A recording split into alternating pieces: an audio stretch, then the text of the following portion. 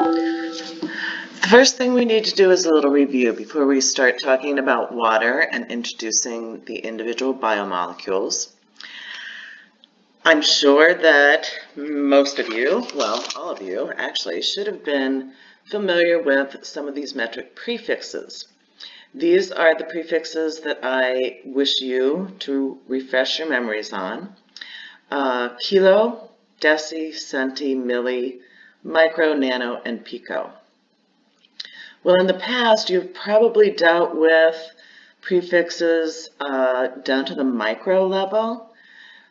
When we look at biological systems, the concentrations of solutions that we that are found in the body are very, very low. So we also need to include nano and pico. Many calculations that you'll be doing when we look at kinetics will involve concentrations of solutions down in this very low range. So here we have the prefix, symbol, decimal equivalent, and the power of 10. We will primarily deal with milli down to pico.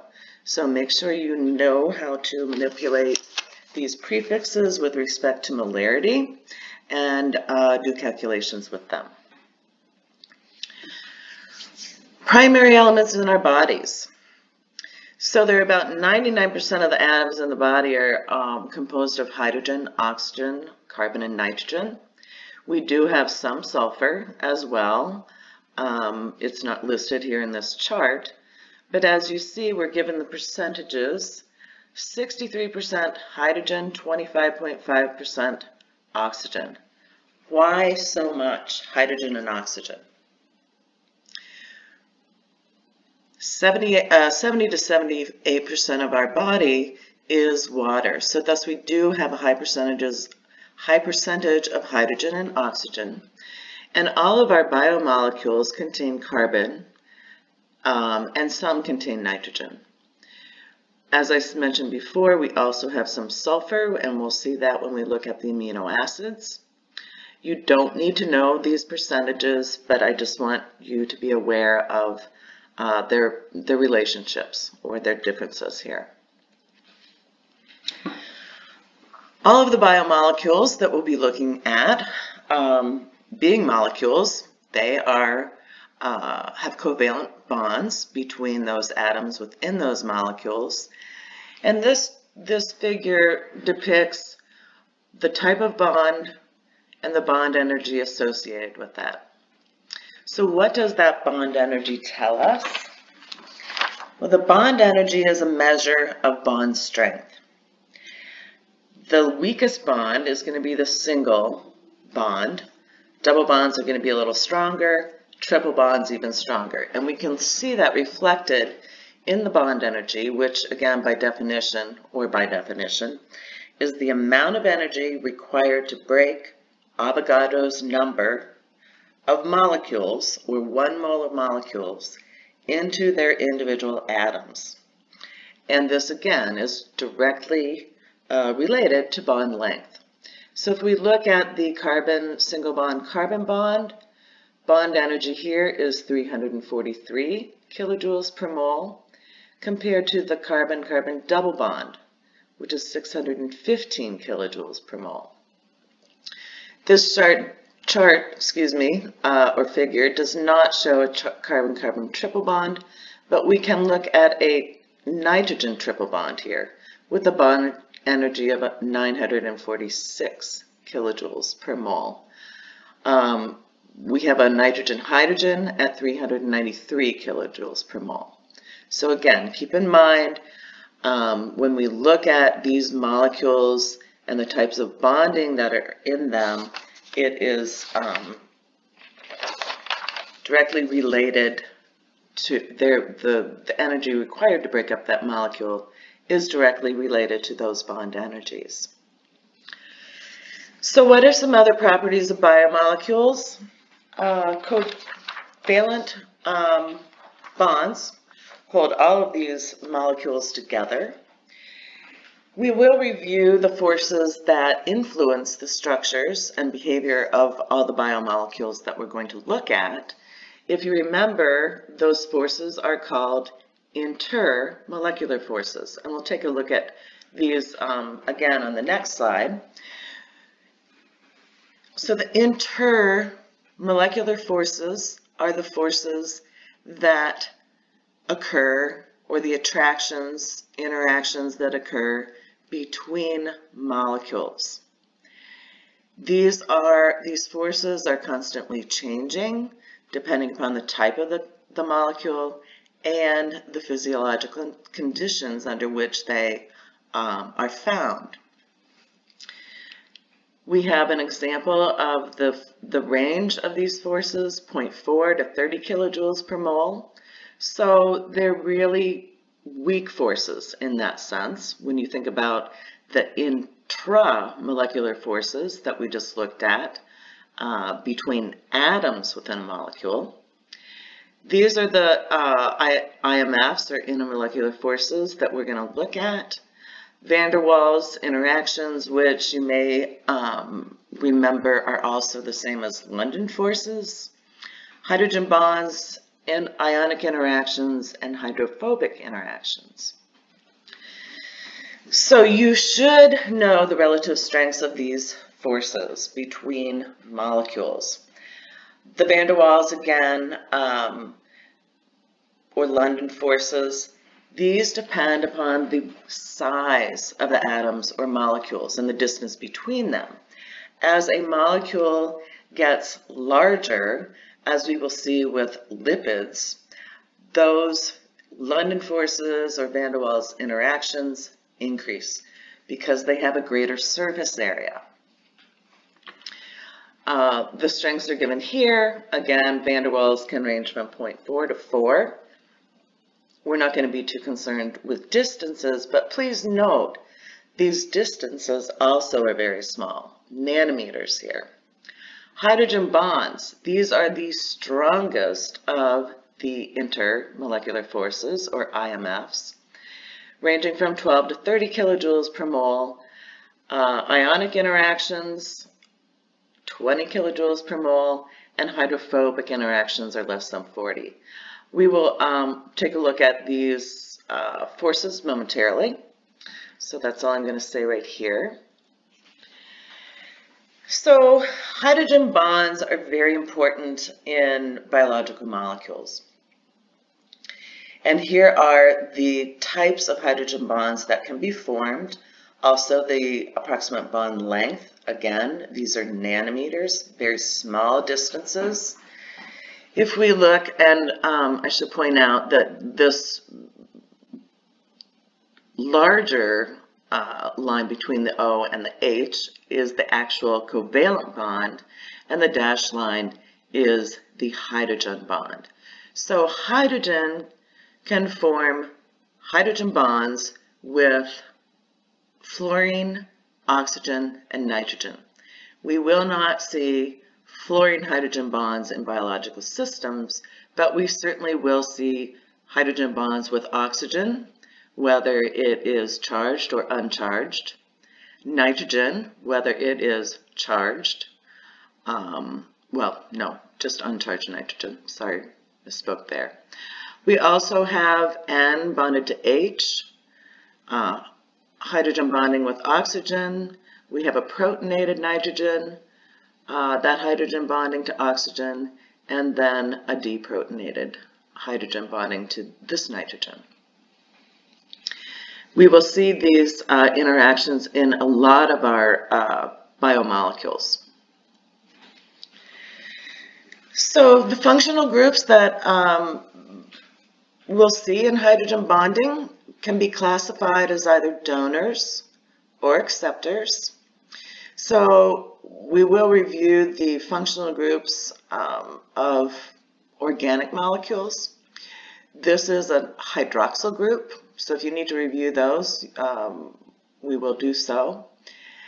This is a donor. This hydrogen is going to be attracted to a lone pair of electrons on either a nitrogen or another oxygen. This is an acceptor, so this hydrogen could hydrogen bond with either of these pairs of lone pairs. So this oxygen can form two hydrogen bonds. This depicts another oxygen with two uh, alkyl groups attached to it. That's what an R group is. So it's going to be, uh, excuse me, a group com composed of carbons and hydrogens. Here we have uh, a amine group. We have nitrogen bonded to two hydrogens. These hydrogens are going to look for lone pairs again to associate with. So acceptors have lone pairs of electrons, donors have hydrogens. Here's a phosphate group. Uh, we will see uh, a couple biomolecules when we get to the glycerol, glycerol phospholipids, and uh, those can also be acceptors of hydrogen bonds. So here are the classes of organic compounds. Uh, beginning with, it begins with the alkenes and the alkynes. We will not um, see molecules with either of these functional groups. Um, we will see molecules that have a benzene ring in them. We'll definitely see alcohols, which has the hydroxyl group. We have ethers here, thiol groups. We will definitely see thiol groups. That's an SH group bonded to carbon. It acts like a hydroxyl, a hydroxyl group. We will see aldehydes. So we have a carbonyl uh, at the end of a molecule, also bonded to a hydrogen, and some R group off to the side. Ketones, we have two R groups with a carbonyl group in the middle. We will see carboxylic acids. So this is the carboxyl group. Um, basically, we have a uh, hydroxyl group and that carbonyl together. Esters, we will see esters in reactions uh, or form in reactions. Amine groups, it's uh, the nitrogen with two or more carbon groups and the amide bond, which we will definitely see in our amino acids and proteins. So make sure you are familiar with these classes of organic compounds. So we also need to talk about oxidation states. Many of the reactions um, that we'll see between our biomolecules are going to be based on redox reactions. So this depicts um, just the smallest um, alkane, methane, and its different oxidation states. So in one direction, we're going to be oxidizing. In the reverse direction, we are reducing. So in, or, in organic chemistry, the definition of oxidation is loss of electrons. However, in organic chemistry, oxidation is the increase of CO bonds and a loss of hydrogen. So if we take a look at what happens to methane as it gets oxidized to carbon dioxide, this carbon uh, increases when we add this oxygen to have a carbon-oxygen bond. So we increase CO bonds from 0 to 1.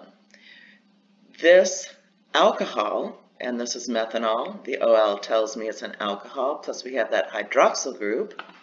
When this is oxidized, we get a C double bond O, or a carbonyl group here.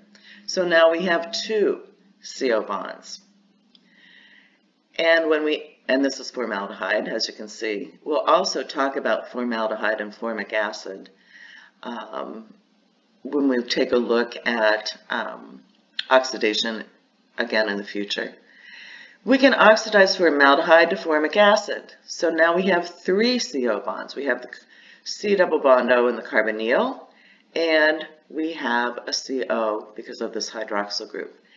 Take a look at the oxidation states of this carbon. It goes from a minus 4 to a minus 2 to a 0. So here it's got a 0 oxidation state.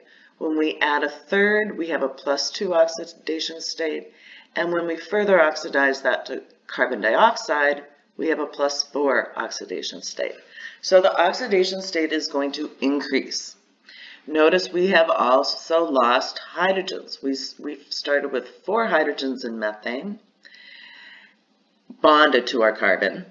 Here we have three, two, one, and zero. In the reverse direction, we have reduction. So in reduction, we're going to decrease the CO bonds and increase the numbers of hydrogens, as you can see in reverse, and I'm not going to go through that. But make sure you understand the definitions for oxidation and reduction in organic molecules. Okay, so now we're taking an individual look at some of those interactions that occur between um, molecules and ions in this particular uh, particular slide. So what we have here is ATP, adenosine triphosphate, and we'll take a look at a number of molecules that involve ATP. And this is the ATP molecule. This is the triphosphate portion. Notice that it has three uh, negatively charged oxygens here and one here. Those negative charges can attract cations or positively charged ions. In this case, we have magnesium. So we will see ionic interactions uh, between ions and charged molecules. Not shown are hydrophobic interactions. We will look at those when we get into our lipid discussion, but basically these occur between molecules that contain hydrophobic side chains. So when we look at our nonpolar amino acids, we will see that they uh, have hydrophobic interactions with other nonpolar molecules. Also our lipids, which are both hydrophilic and hydrophobic, we will see those types of interactions as well. Here's another uh, depiction of ionic bonds that occur within molecules. So what we have here is a strand of protein. So protein is composed of amino acids and these amino acids, as we will see, have side chains which may or may not be charged or polar. Um, there happen to be three or four polar groups here. And what we have is um, actually a hydrogen bond here, um, but also an ionic interaction. We would have hydrogen bonding, which is depicted by